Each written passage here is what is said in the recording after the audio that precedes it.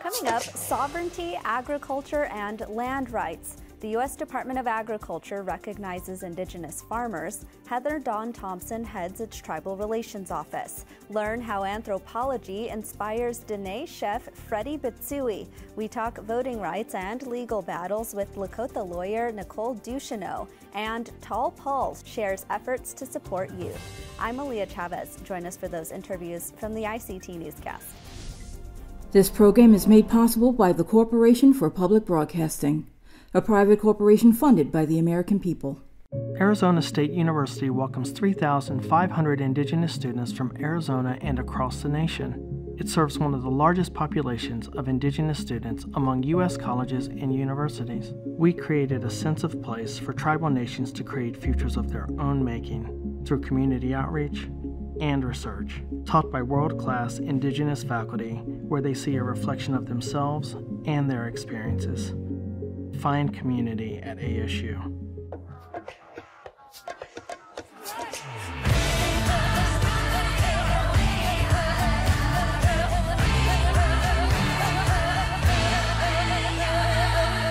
This is the ICT Newscast with Aaliyah Chavez. I'm Amara Hopa, thank you for joining us. Heather Dawn Thompson is clear. You can't have tribal sovereignty without food sovereignty. As director of the Office of Tribal Relations at the U.S. Department of Agriculture, she's in a key post to back those words up with action. ICT's Stewart Huntington has this interview from the Reservation Economic Summit. The uh, Secretary of the United States Department of Agriculture announced two years ago USDA's Indigenous Food Sovereignty Initiative. And this is historic. In all of the years of USDA, we have never had a focus on Indigenous peoples or Indigenous foods. And we are just honored and delighted to be working with tribal nations and our partner organizations to be implementing this initiative on behalf of the Secretary. Uh, give me an example when you say indigenous foods. Uh, take us on the ground to a particular corner of the country. Uh, what's happening? There are several components of our initiative. One is leading by example, and that has multiple components. For example, seeds, foraging, cooking, all really important parts of our indigenous foods in every region. And for each of those, we've broken it down by different regions per your question. And so we have created seed saving banks in each different region. We have done foraging videos in two or three different regions, and we're expanding each year into additional regions. And we're doing indigenous cooking videos in each region.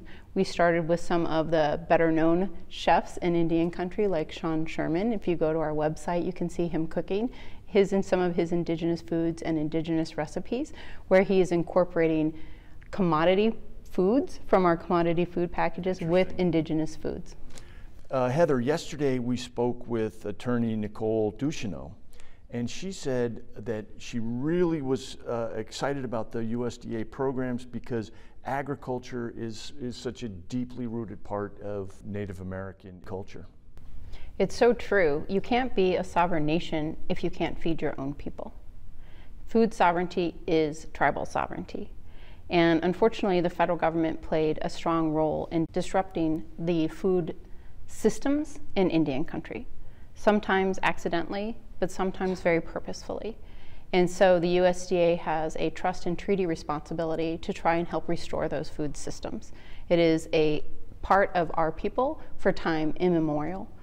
For Nikki, she's also a citizen of the Cheyenne River Sioux tribe, and so one really important animal for her nation and my nation is bison, for example and the United States government played a very strong role in the destruction of the bison in order to cut off access to independent food sources for the Great Plains tribes. And so the USDA has taken its trust and treaty responsibility very seriously to try and restore those connections to those bison herds. We are including bison in our food packages. We are working on purchasing tribal bison. We just created a manual for cattle ranchers that are interested in transitioning back to bison ranching and we are working with our partner, the Intertribal Bison Cooperative, on creating another manual on field handling of bison, um, and that should be out later this year. It seems like the revitalization of the bison herds is got a lot of momentum right now. It really does, and for the the tribes that have that cultural affiliation with bison, the revitalization of bison is seen as a corollary of the revitalization of the people. Same for people that have that affiliation with salmon or other animals um, that have historically kept those peoples alive and have a symbiotic and cultural relationship with them. And so we are trying to do our part at USDA and being good partners in revitalizing those important indigenous animals. Uh, Heather, along with the revitalization of the bison herds comes meat processing needs. Uh, is there any movement in that realm? Meat processing is a huge concern for a lot of rural America, and we saw during COVID incredible disruption in the supply chain and a backup in local meat processing. And diversifying the availability of meat processing is a huge priority for this administration. What we've heard from tribal communities, however, is really unique and different than other rural communities. What we've heard is we want to make sure that our protein sources are indigenous animals. And that's different than what USDA has focused on in the past. We've really focused on Western animals, cattle, uh, chicken, pork. And what we've heard from tribal communities is we want to focus on seafood. We want to focus on reindeer, moose, bison. We want to do field harvesting, which we think is more culturally appropriate and humane for our animals. And so they've really challenged USDA to think differently about how we fund and finance meat processing. And we're taking that challenge very seriously. Uh, Heather, the other day I got to sit down with Dick Trudell, who had a long career in DC focused on Native American issues and progress. And his observation was that the Biden administration has appointed more Native Americans than any previous uh, administration. You're part of that. Uh, is that exciting? It is exciting and it's really an honor. And I have to say, it really matters. When you have people that have lived experiences in Indian country and have that expertise in federal Indian law and the trust and treaty responsibility, it completely changes the conversation at the table. And I think you're seeing that in the policy changes in this administration. On a daily basis, you're seeing barriers removed and a complete shift in the way the federal government honors its trust and treaty responsibility in Indian country. Heather, do you think that there's a way that that can last and not come and go with administrations? I hope so. We're really trying to institutionalize the knowledge, and that's the key. When people know better, they do better. And we're starting to see our legal offices, our policy offices have more and more exposure to Indian country and more and more knowledge about their trust and treaty responsibility, and that lasts. Heather Dawn, thank you so much for visiting with us. We appreciate it. It was my honor. Thank you.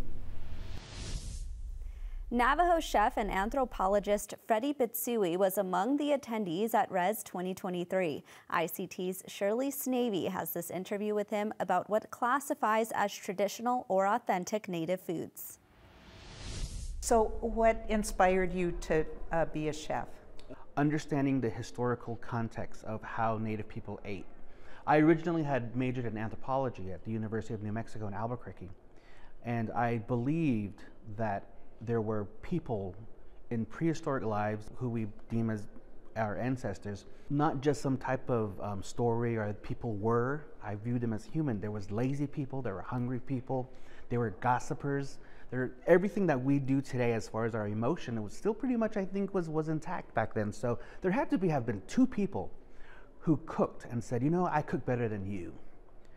And that notion, I think, um, has always been a part of human um, societal evolution. And by the time 2009 came around, I started my own consulting company, which I went to rural casinos, and then I would train people how to cut their food costs, um, be better cooks. Because unfortunately, in, in, the food world, nobody says, I want to go to rural Minnesota and be a chef. Everybody wants to go to New York or people want to go to California and be a chef. So I thought that if I could do these consulting um, gigs, it, it, would empower the, the culinarians in, in, in, in their respective um, communities and casinos. And it worked. It, it, was a really good, it was a really good gig and then I started um, getting involved with um, my own casino, and I became the executive chef for um, the casino that's in Gallup. And I, I was only there for a year, and that's when Washington called. And apparently, I had built my name so big from 2009 to 2015 that they called me for the job. Like I wasn't even looking for the job. They just said, "Hey, you want to be the chef here?" Which inadvertently was my dream job. So I, I didn't even have to think. And I managed to. Uh, it may not be a be a big move for non-culinarians or non non-anthropologists, but what I did was I managed to get rid of the words traditional and authentic because the museum when we put something out that was authentic, we, we, I've always got into little scuffles with people, and they would say, wait, my grandmother didn't make it like this, so it's not authentic. It opened my eyes to the e- enormity of uh, the culinary culture in with different tribes and with different peoples throughout um, North America and Mexico. So that's where all my studies came from, and I, I you know I continued to study working there, and um, it managed to open my eyes so much broader to the whole Native America food spectrum, and that's what what inadvertently came out of my book, which is called New Native Kitchen, you know, which you can get on Amazon. Um, um, so that's kind of where everything's at now, and um, I'm collaborating with a lot more chefs now. That's why I'm here because Don Sherman has been presenting, and I just been um, we're, we're planning on things together in the future, hopefully. You've had an opportunity to work with tribes all over the country. I mean, what, what would be some of the things that you were surprised to learn about regional cuisine? I think one thing that I was surprised to learn is how much people um, tend to think traditional food is when it's really like uh, post reservation. And I, uh, uh, like for example, I, I don't, I don't, I believe that there's no point in putting any food down but like there's a lot of spam involved and they call it traditional food which is, is fine which which it, it, it, it, it's fine because it's been part of someone's emotion it's been part of someone's you know walk in life and their families and everything in, in that capacity. But prior to um, uh, uh, when all the tribes were relocated and how like for example I, the example i use is the delaware tribe was obviously living in the Delaware area because there's no Delaware in Oklahoma, right? So just imagine when you have abundance of food from the, the seas, the water, the bays, um, the woodlands, and then you're transferred to another place where there's absolutely nothing, so you have to adapt. Cooking with oil was, was, was not um, in our culture. And what I mean by that is putting oil a, on a pan and letting it get hot and then hearing that sizzle. Now, we did put fat in food, like um, wild boar uh, lard, into cornmeal. That's how we make tamales. So when, when we use those processes, yeah, we're cooking with oil or fat, but it's a different type of technique. So even as minute, small techniques as these cooking processes are, it just changes it completely. And that's exactly what happened. And um, trying to revitalize and talk about the history is one thing, but trying to convince grandma is a whole different task. So that's, that's where I think a lot of the Native American and, and, and um, indigenous chefs are right now, just trying to convince um, people who are, have their heels dug in to not change is, is, is quite a, a, a task. The younger people are more a, adapting to it. I, am very surprised about that. Well, Freddie Bitsoie, it's been just wonderful to meet you. Well, thank so you, thank you very me. much. It's, it's been a pleasure. Thank you. That was Chef Freddie Bitsoie. Attorney Nicole Ducheneaux fought the Dakota Access Pipeline in court. Correction is still fighting the Dakota Access Pipeline in court. She is a veteran on the legal front lines fighting for Native rights. ICT's Shirley Sneve caught up with her at the RES conference in Las Vegas, where she led a panel on Native voting rights. So voting rights is a really hot and important issue in Indian country right now, um, simply because there are deliberate attacks on the right of Native people to participate in state, um, municipal, and national elections. Um, and, you know, we do have some reluctance in Indian country to get involved in politics, but it is so, so critically important uh, to our own sovereignty um, who we elect in a state and national and even a local election um, has a huge impact on tribes. And, you know, we see it on a broad level. Uh, you know, unfortunately, we elected Donald Trump. uh, and the composition of the U.S. Supreme Court changed, and an already anti Indian court has become incredibly hostile to Indians. And that is a direct result of that national vote. Um, and, and so what we see out in the localities is that these you know, local voting officials and local governments are using insidious tactics to make it harder for Native people to vote. And that's a signal that they're scared of our power. I'm often surprised to hear how many Natives don't vote. And they don't vote because they don't think it has anything to do with them, um, that their vote isn't going to make a difference. And I think even in Nebraska, um, with the four tribes there. Yeah, it, it is disappointing to see that, and, and we really need a grassroots effort on the ground. Um, I, I am really lucky to have a, a relative in my life, my um, now deceased uh, great aunt Lucille Otter, who was a member of the Confederated Salish and Kootenai tribes. Um, and she was famous for getting out the vote on the Flathead Reservation. Um, and still to this day, people will remember her. Oh, Lucille was your aunt. Oh, God, she used to come to my house and just badger me about voting. And I used to hate it. But, you know, now when I go to vote, I always think of her. Um, and we, so we need Aunt Lucille's out there in Indian country, um, you know, because uh, you know people of that generation understood what it was like to not have any power, um, and how lucky we are today uh, to have the right to vote and to have um, you know power in our tribal governments. Um, so I, you know, I, I really am happy when I see our grassroots efforts getting out the native vote because it is so incredibly important. This conference is bringing together a wide variety of people um, mostly that are interested in economic development from a tribal or an independent point of view. And this is a year that we're taking a look at the Farm Bill. Should natives care about the Farm Bill? Absolutely. The Farm Bill is so critically important. Agriculture is absolutely the most natural uh, industry for tribes. Um, although many of us are poor, a lot of our tribes are rich in land. Um, and uh, agricultural industry is part of our cultural history as well. Um, animal husbandry and cultivating the land, and the opportunities that the U.S. Department of Agriculture offers for funding and grants um, and, and programs are so critical to Indian country, and there's a lot of untapped resources. Um, and that my firm Big Fire has uh, started an agriculture practice group uh, that I think is unique in Indian country, um, where we are working to help tribes um, you know, like update their tribal codes for grazing and for um, various things that help make agriculture work uh, in a tribal community.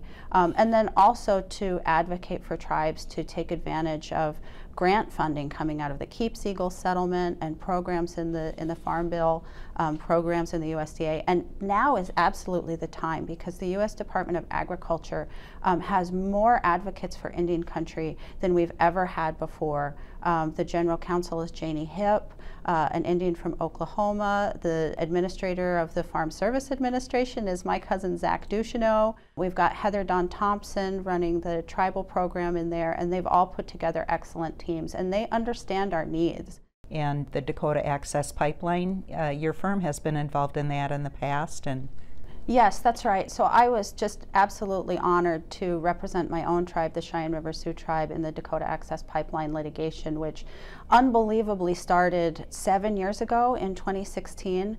Um, and although we do have a, a pipeline under our you know, sacred uh, Missouri River, the tribal plaintiffs in that case won uh, almost every step of the way on the law. And what we were always seeking was a full environmental impact statement. And uh, in 2019 and 2020, that's exactly what the district court ruled. And so we've been in that environmental impact statement process ever since. And tribes have been participating and challenging the U.S. Army Corps of Engineers on their cozy relationship with the oil company. And so what tribes are doing now is making the record because we will sue again. Um, we're Sioux Indians, that's what we do. but you know that was such a highly visible case in Indian country because we had such an amazing turnout from the world and from um, Indian activists, and, and it's been off the radar. But it, you know, we are still fighting for our sacred river and our sacred mni, our sacred water. Um, and you know we're still getting pushback from the federal government, so they better watch out because uh, we'll come for them again. Nikki Ducheneaux from Big Fire Law Firm, thank you very much for joining us. Thank you so much, Shirley. Tall Paul wears many hats in Native communities, including being a hip hop artist and inspirational speaker. I sat down with him in Phoenix last month. He shared some of his latest projects and about his most important role, which is being a dad. Take a look. The last time we touched base with you, you had just released your album on uh, Jim Thorpe. What updates do you have on that?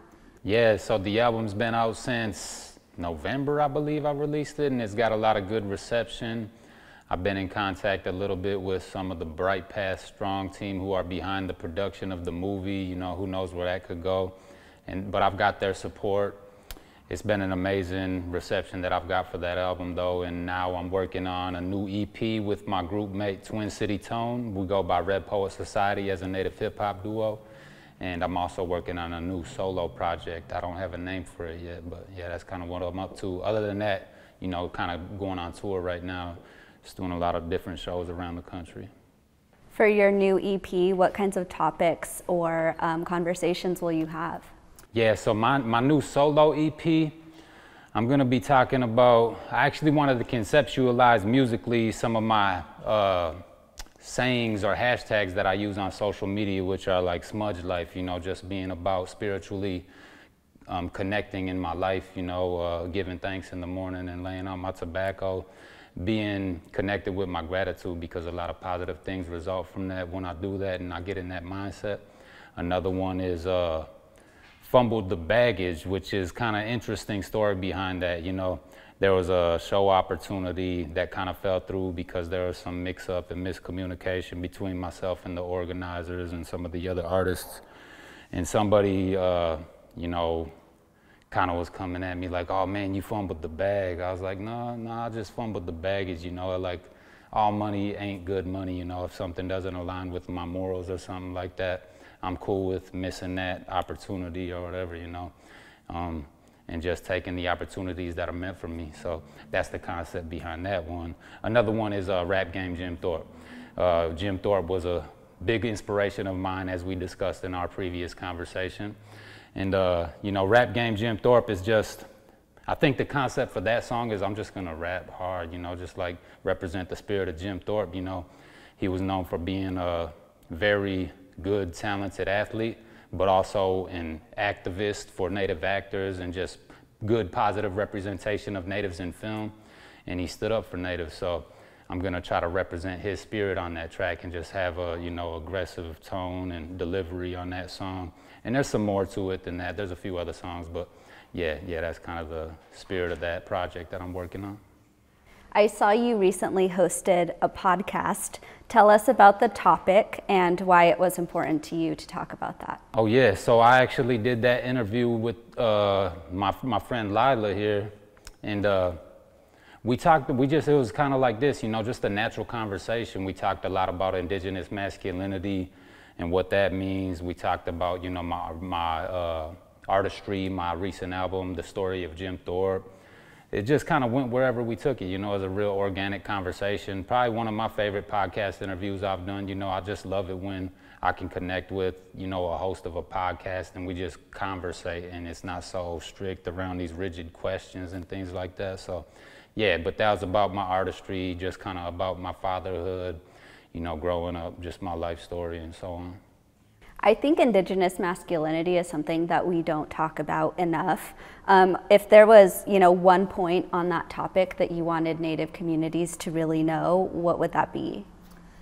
Yeah, I mean, the first one that comes to mind, and I don't know that it's necessarily restricted to indigenous masculinity, but ma masculinity in general is um, opening up to the idea that, you know, this concept where you know men ain't supposed to cry or men ain't supposed to show emotions like that's real restrictive our of our emotional maturity, you know, and, and I kind of grew up influenced by that to the point where it's tough for me to even like shed a tear if I if I'm feeling that, you know, it just like won't come sometimes, you know what I mean, or oftentimes, and that's kind of uh, crazy, you know, to think about. Like it's almost an inability. It's not that I'm incapable. It just takes a lot for something like that to happen, and and I I, I want to see more openness to that in our community. You know, I tell my son, you know, and he he takes after me a lot and I tell him like, man, it's it's okay for boys to be vulnerable. You know, it's okay for men to be vulnerable. I was taught wrong, and and I want to make sure I teach you right so that you're more comfortable with that. Because a more complete man who's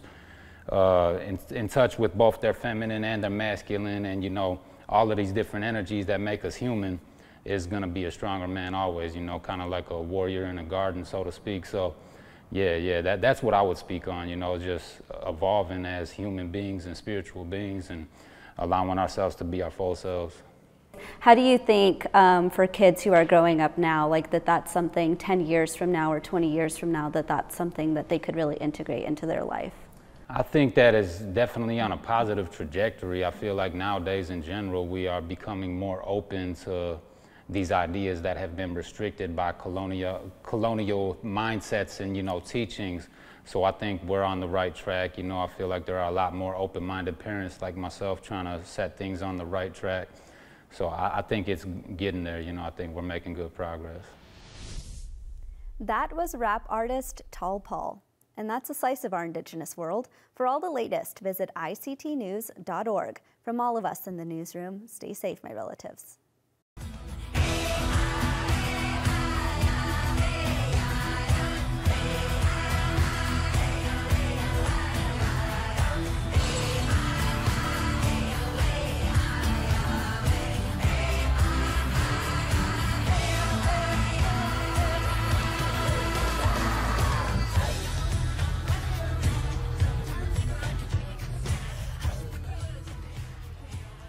This program is made possible by the Corporation for Public Broadcasting, a private corporation funded by the American people.